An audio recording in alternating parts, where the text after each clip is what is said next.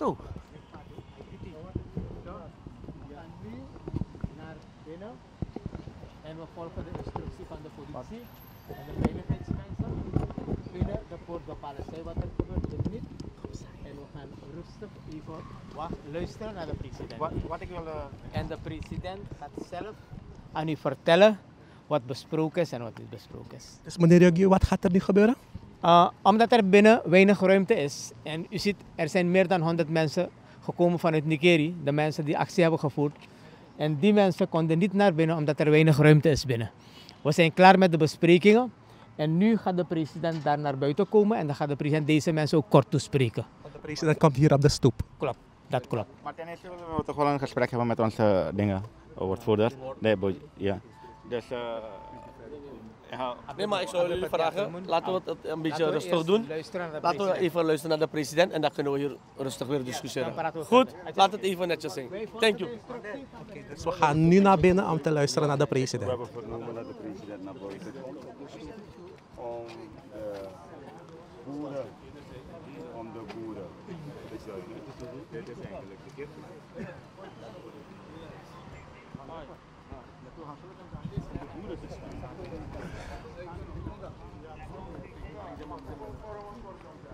Ei, era.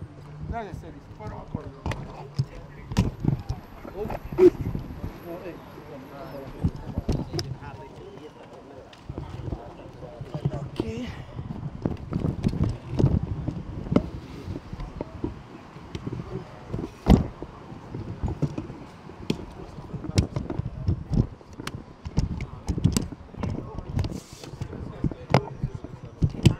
Zo, nu is het wachten op de president die de boeren gaat toespreken. Of de boeren die...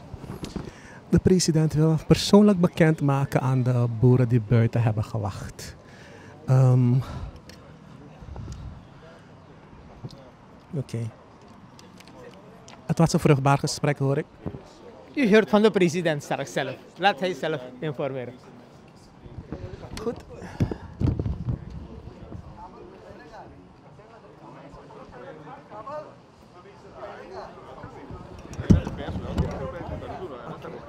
Ja.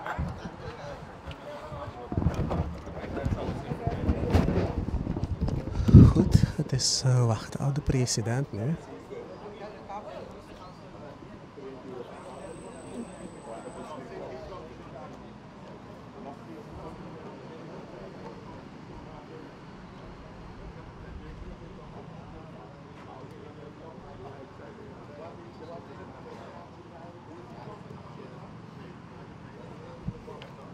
Ehm, eh, het is nu wachten op de president.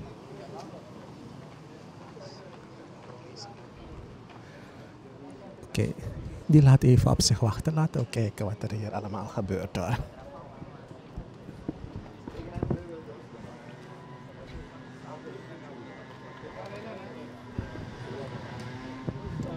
Ja, we zijn nog niet tevreden. Hij zal zelf ook komen uitleggen.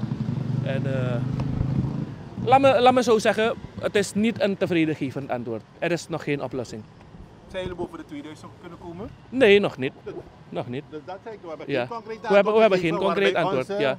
achterband Ja, hier, ja, of ja. onze medeboeren, ja. een antwoord kunnen geven. Ja, Dit precies. hebben we binnen bereikt. gezegd? Wat heeft hij gezegd? Maar voor die twee uren lang. Ja, wat heeft hij gezegd? Ongeveer. Dus, Alleen, alleen maar naar modellen. ja dus, Dat moest al lang besproken worden. dus uiteindelijk... We zijn al acht maanden verder. En die modellen moesten al, al lang acht maanden terug besproken worden. De president is het.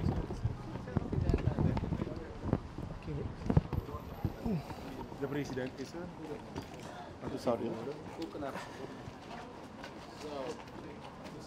Nogmaals, eh, welkom. Eh, ik vind het heel jammer dat jullie niet allemaal binnen konden zijn. Omdat men niet doorgegeven had hoeveel mensen zouden komen. Anders had ik georganiseerd een congres gewoon. Had ik jullie allemaal daar ontvangen. Oké? Maar jullie waren daar goed vertegenwoordigd. Jullie boeren, jullie collega-boeren, die waren daar. Jullie DNA-leden waren daar. De districtscommissaris was daar. En zij hebben gevraagd wat jullie ook willen. En dat is namelijk dat de regering één de rijstsector zal ondersteunen, de boeren zal compenseren, maar dat bedrag wat de regering vrijgemaakt heeft, zoals het nu berekend is per hectare, dat het niet voldoende is. Dat hebben ze daar gezegd. Tweede, wat ze gevraagd hebben, geef ze ietsje meer. Toch geef ze ietsje meer. Want ze hebben ook problemen. Ze hebben droogteproblemen. Ze hebben problemen met water. Ze hebben problemen met productie. Ze hebben problemen met zaaizaad. Er zijn problemen. En als boeren problemen hebben en hun inkomsten wordt minder, dan krijgen ze geen geld. En zij zijn net zoals alle andere groepen even belangrijk en ze moeten ook geholpen worden als zij problemen hebben. Als ambtenaren problemen krijgen, dan krijgen ze koopkracht. Als boeren problemen hebben, dan moeten ze ook geholpen worden. Wat we afgesproken hebben, is namelijk dat er een verdeling komt in aantal hectare. De personen die meer dan 100 hectare hebben, de personen tussen 50 en 100 hectare hebben en die personen die onder die 50 hebben. De mensen die daaronder vallen, onder de 50 en onder de 100, die gaan meer krijgen. En de mensen daarboven gaan ietsje minder krijgen. Tweede is de mensen daarboven, boven de 100 hectare, daar moeten we met minister van Financiën en de belastingdienst ook afspreken of ze belastingkorting kunnen krijgen. En als ze akkoord gaan dat ze belastingkorting kunnen krijgen, dan is dat geld wat beschikbaar is, dan bestemd voor die categorieën daaronder, waar jullie allemaal meer gaan krijgen. Hoe gaan we dit uitvoeren? Jullie vertegenwoordigers die binnen waren, die gaan mensen aanwijzen, ongeveer 10 mensen. En de uh, werkgroep Reis Platform onder leiding van de heer Kalu, dat is het team van de regering. Samen komen ze bijeen. Vanaf nu gaan ze nu zitten berekenen, allemaal, hoeveel ze allemaal gaan krijgen. En zij hebben gevraagd om hun één week tijd te geven. Als ze vandaag konden doen, hadden we vandaag opgelost. Als ze morgen kunnen doen, is het morgen al opgelost. Maar ze hebben gevraagd binnen een week dat op te lossen. Zodat jullie precies weten, dit is de categorie tot 50 hectare. Die gaat zoveel krijgen. Het is meer, gaat meer zijn dan wat tot nog is afgesproken. Daarboven gaat ietsje meer krijgen. En daarboven boven de 100 moeten we nagaan hoe die compensatie precies gaat plaatsvinden. Of met bedrag of met belastingincentives. Dat is de richting. En voor de rest uh, was er een discussie gaande. Ja, één wil mes, één wil... Wij hebben gezegd, geef de mensen geld. En wat ze met hun geld willen doen, dan moeten ze kijken wat ze ermee willen. Maar dan zijn er boeren die op dit moment dringende problemen hebben bij banken. En eentje heeft net een aanmaning, aanmaning gehad. De werkgroep gaat die gevallen apart bekijken. Alle boeren die nu problemen hebben met banken, zodat dat opgelost kan worden. Dan zijn er weer een paar boeren die sieraden in pand hebben gegeven om met het geld hun reisbedrijf in productie te houden. Die gevallen gaan we ook apart snel bekijken. Oké? En terwijl dit gaat plaatsvinden, gaan we een onafhankelijk team samenstellen. Want er is nog een discussie van, ja maar die meneer heeft gezegd, hij heeft zoveel geoogd, maar het is niet waar. En die meneer zegt, hij heeft zoveel hectare, maar het is niet waar. Die dingen zijn er, maar ik wil niet dat die dingen moeten leiden tot spanningen. Dus we gaan een onafhankelijk team vragen. Ga voor me berekenen, al die mensen. Ga met camera, ga met foto, ga voor me meten, ga alles doen voor me. Zodat we dit voor eens en voor altijd ons niet hebben en we geen beschuldigingen naar elkaar gaan. We hebben eenheid nodig. Met ik tak aan me. Dat probleem moet met eenheid opgelost worden. En jullie Nigerianen zijn in staat. Alleen die kleine onduidelijkheden moeten we wegmaken. En dat is een ander traject. Vervolgens gaan wij dat ook formaliseren. We hadden platformreis en nu gaat platformreis naar productschapreis. Zodat de boeren daarin vertegenwoordigd zijn, de banken erin zitten, de molen, iedereen gaat erin zitten, de regering gaat erin zitten. Zodat we gezamenlijk kunnen vaststellen de prijs van paddy per baal, dat we dat goed een keertje kunnen regelen. Zo, ja, zoals de reisbord van Guyana, maar hier uh, gaat het productschapperij zitten. Ik vind het jammer dat jullie geen plaats hier hebben kunnen vinden. Als jullie binnen een week dit kunnen oplossen, Dan kom ik zelf naar Nikeri. Ja. Is iedereen daar aanwezig? Dan kunnen we allemaal zeggen, ja president, akkoord. En dat niemand tegen is en niemand oneens is, dan zijn we allemaal samen eens toch? En die reissector is voor ons eh, belangrijk. May bada खुश हूँ कि आप लोग अपन समय निकाल के इतना दूर से अपन घर छोड़ के अपन खेत छोड़ के आप लोग खेत के रोक के यहाँ आज उपस्थित हुए हैं और मैं धन्यवाद देता हूँ कि आप लोग यहाँ आए हैं हम लोग सरकार बाती आपके लिए हम लोग सरकार बाती आपके प्रॉब्लम अपलोस करे के लिए और हम लोग प्रॉब्लम हम लोग साथ है अपलोस करे को साथ में क्या अच्छा? भैया मैंने जोगी मैंने बहुत कुछ अच्छा ठीक है।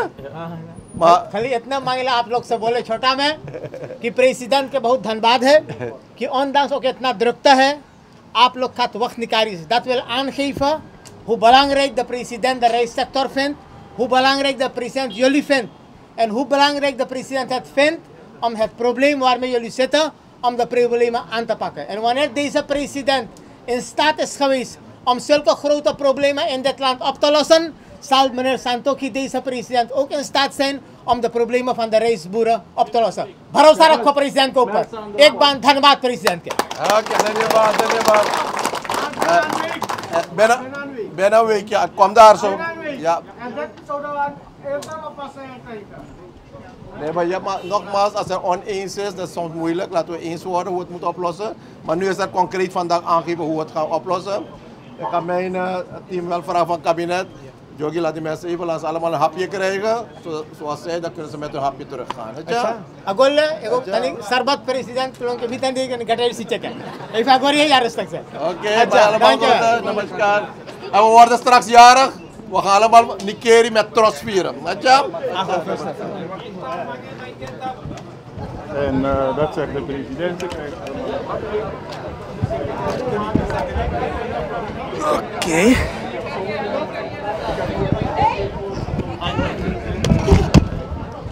heeft het gehoord. De president die zegt.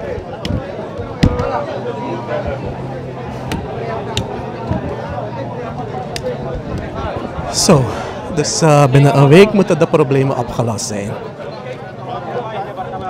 Tevreden? Nee. Zijn jullie tevreden met wat jullie hebben gehoord? Tot nu toe wel, maar we moeten nu wachten wanneer het weer een week, Aan een week moeten wat de oplossing komt. We willen horen hoeveel het wordt. Ja. Hoeveel moet het zijn volgens jullie? Eigenlijk is het 10.000, dan zijn we binnen. Ja. Goed. Eh, Helemaal niet. En wij waren eigenlijk hier dus gekomen om, om, om, om, om, om bedragen te horen. Met ons eis 10.000, als je, niet, als je 10.000 niet kan, zeg of je 8 kan of 6 kan, dan zouden we terugkoppelen. Maar dat is niet gebeurd. Dus nu gaan we terugkoppelen met die groep van Nikeri telefonisch of ze die actie gaan opschorten of doorzetten.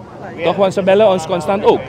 Ehm, Maar, maar hoe ziet u dit? Hoe, ziet u deze actie van de president? Zie je het echt van, hey, het is iets waarop jullie kunnen bouwen? Of zeggen jullie van, hey, omdat Nikeri straks jarig is en ze willen rust hebben? Dat, is, dat is één. Dat is één. Dat strategie van hun om rust te krijgen, omdat straks Nikeri een, eh, ehm, jarig is. En twee, eh, we kunnen op de president wel bouwen. We hebben volle vertrouwen in hem. Maar de personen die hij steeds aanwijst, die, de, die, die, de, die het zal trekken, ehm, de groep van LVV, om, om, om alle data weer bij elkaar te krijgen en de problemen. Die boeren hebben geen vertrouwen in die problemen. In, in, die, in die persoon. Ja, we hebben daar gezegd. De boeren hebben gezegd, zet meneer Jairam weer daar in die groep. En, en, dan gaan, en dan gaan we met hem alles weer tellen en weer registre- registreren. Ik weet niet. hij daarop gezegd? Hij heeft volgens mij gezegd dat meneer Jairam die groep mag aansluiten. Maar omdat wij op dat moment meneer Jairam daar zagen, en we zijn geen politiek komen spelen, toch? We- En dat hebben we gezegd, want we hebben geen, geen vertrouwen in die anderen, die, die al, al, al zoveel jaren bezig zijn, maar geen, geen oplossingen kunnen brengen en, en de reissector niet op een stabiele niveau of een hoger niveau kan brengen. Concreet. Ja. Stoppen jullie met protesteren? Dat gaan we zo meteen terugkoppelen telefonisch met de boeren van Nikeri. Als u even tijd heeft, dan kunt u dat weer. ehm, Even checken. Gaande in ja, ja, ja, ja, ja, ja. Ja, en 8, 8 augustus is Nikeri jarig. Wat gaan jullie doen? Feest vieren? Nou, ehm, kunt u even dat, we we gaan straks antwoord geven wat we gaan doen. Ja. Mo- mogen we uw naam weer? Mogen we uw naam weer? Sahadev, Sanjay Sahadev. Ja, Ja. Zo rustig, meneer. oké. Oh, en wanneer gaan jullie bellen? Je gaat nu bellen om acties op te schorten? Ja, we gaan even, even met een paar boeren hier afstemmen en dan gaan we bellen. We, we, we volgen het. Oké.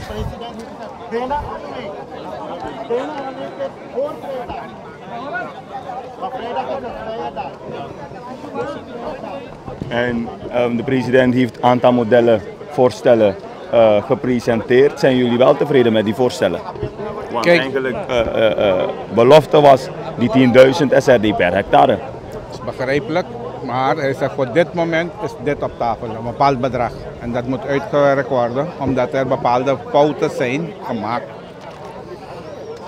Dus er gaan nog wat aantal hectare van, voor wat betreft die 30.000 gaat, gaat minder worden. Hoogwaarschijnlijk zijn er foute dingen daar in verwerkt, verkeerde informatie. En eh, we kijken wat het wordt volgende week. Weer een commissie laten installeren die dat ding extra gaat controleren. Of het, of het daadwerkelijk, de zuiverheid ervan. Voor wat betreft die groep van 150 hectare, naar boven, die komt niet in aanmerking. En daar zit het probleem. Die zijn eigenlijk de bedrijven die arbeiders en heel wat zaken in stand houden. En nu gaan die failliet. Over, over drie maanden zijn die bedrijven aan bepaalde aanmaningen gehad. Om bepaalde zaken dat er beslagleggingen gaan komen. De Maar de bank, je weet wat de bank is, de bank wil geld zien. De bank houdt niet van te woord dus. de president heeft ook aangegeven dat eh, eh, Oké. ehm, dan gaan we deze livestream afsluiten. Ja. En? U heeft zo lang gewacht. Bent u tevreden met eh, het resultaat? Ja, ja, ja. We hebben gehoord dat de president heeft gezegd binnen een week gaat de president laten horen wat er gaat gebeuren. Weet je? Maar hij zegt hij is akkoord om die geld te geven. Dus we gaan wachten. Gaan jullie stappen met actie voeren? Sorry? Gaan jullie stappen met actie voeren? We blijven, we blijven, we, we, we nog wat we kunnen doen. We moeten even afspreken, want een groep mensen die daar zitten in de Keri zitten op eh, te wachten wat we kunnen zeggen. Ja.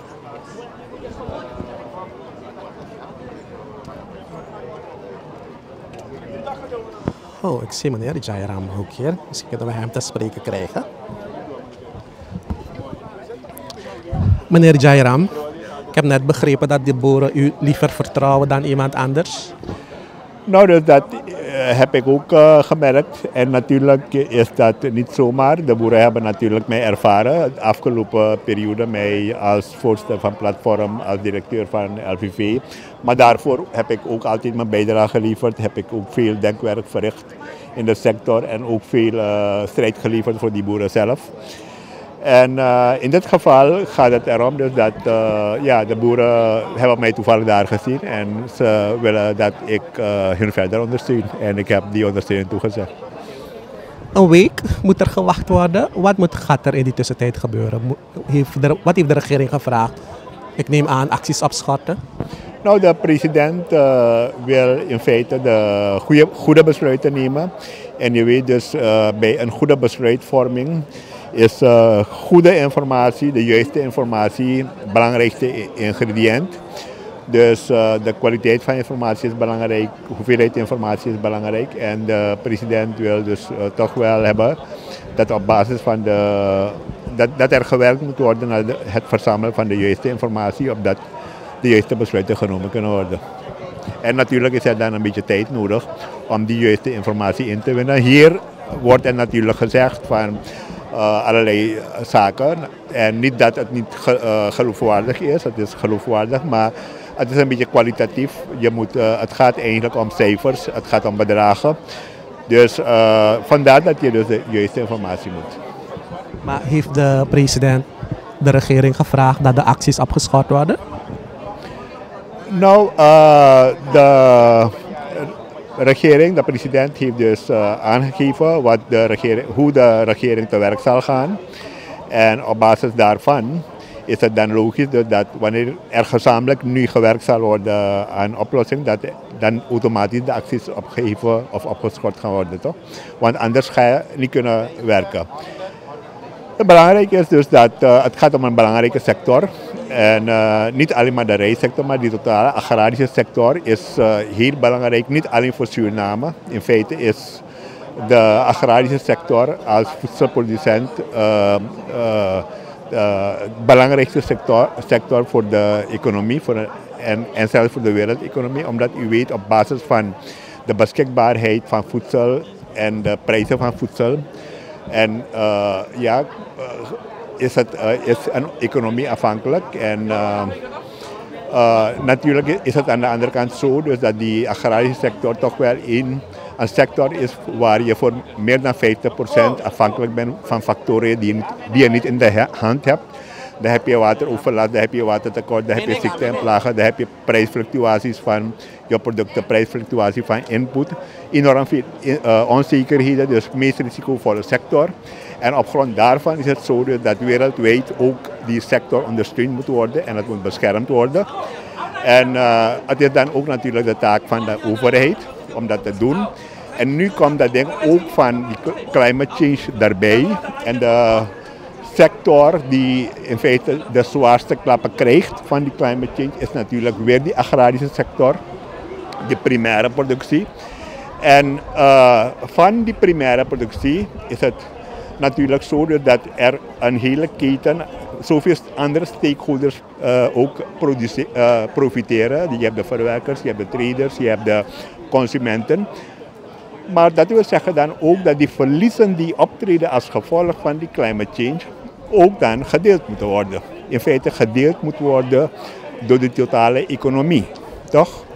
En vandaar dat het toch wel op zijn plaats is dat in dit geval van die verliezen, dat het gedeeld wordt door die economie. En uh, in de vorm van een compensatie via de overheid. En natuurlijk, het belangrijkste waaraan er gewerkt moet worden, is dat stukje onderzoek, toch?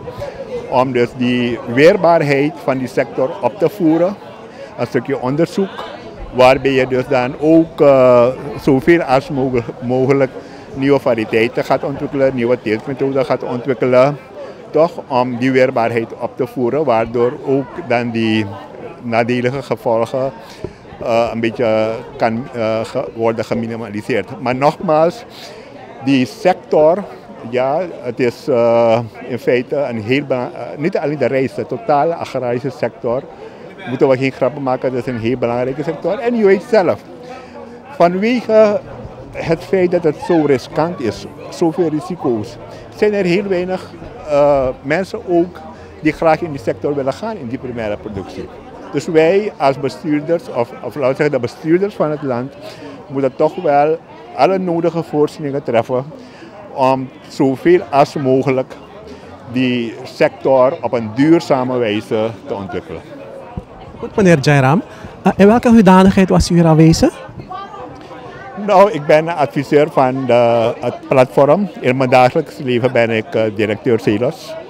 Uh, dat weet je waar het is. Uh, maar ik ben ook gelijkertijd adviseur van Platform Reist, waar ik voorheen ook uh, leiding heb gegeven. Zo, so, die meneer is ondertussen terug, laten we horen. heeft u ondertussen gebeld? Nee, ik was even bezig, even, even ruimte. Oké, okay. Goed, um, we gaan deze livestream afsluiten.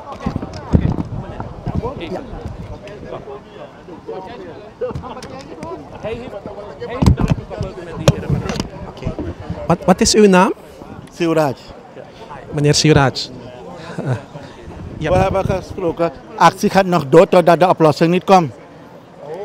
Nog een keer, nog een keer. De actie gaat door totdat we geen oplossing krijgen. Hoeveel een boer per hectare gaat krijgen. En we hebben een kans gekregen binnen een week. Binnen een week, dus voor vrijdag. Vrijdag is een vrije dag. Dus donderdag moeten we de antwoord krijgen hoeveel per hectare wordt betaald aan de boeren. En, dus, en tot die dag dat we geen antwoord krijgen, gaat de actie nog door. Oké, okay, dus jullie gaan door tot donderdag En als jullie donderdag geen antwoord hebben dan? Actie gaat nog door. Ik heb u gezegd, de actie gaat door. Als we donderdag de officiële antwoord hebben gekregen hoeveel per hectare een boer krijgt, dan stoppen we met de actie. Wat is een goed bedrag? Hetzelfde 10.000 vragen we nog op per hectare. 10.000. Goed. Zo. Oké, dat is een nieuwe ontwikkeling. Uh, we hebben net vernomen dat de actie gewoon doorgaat. Ondanks het uh, goed gesprek met de president. De actie gaat gewoon door. En er zal gewacht worden tot donderdag. En op donderdag moet er een goed antwoord gekomen zijn van de overheid. En een goed antwoord is in dit geval minimaal 10.000 SRD per hectare. Anders gaat de actie gewoon voortgezet worden. Maar ondertussen blijft de actie, uh, wordt de actie voortgezet. Goed, dan hebben we dat nieuwtje erbij. Dan gaan we, dan gaan we dan uh, deze livestream afsluiten. Hè?